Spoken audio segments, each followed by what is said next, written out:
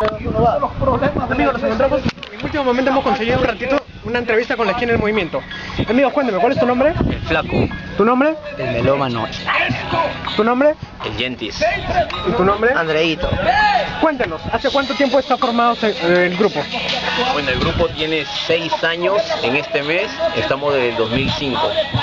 Y vienen acá al Congreso a presentarnos. Nuestro primer CD cancelando al enemigo en One.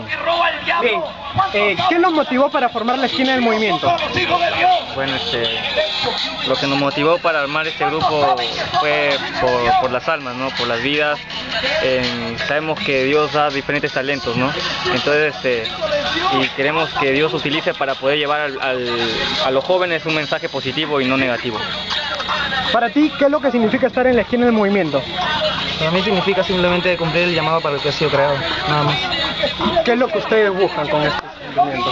Poder entrar a terrenos donde muchos no han entrado a compartir un mensaje de salvación a través del género del hip hop y del reggaetón. Para algunos de ustedes, ¿alguna experiencia? una experiencia que hubo cuando Jaime se y se puso a improvisar.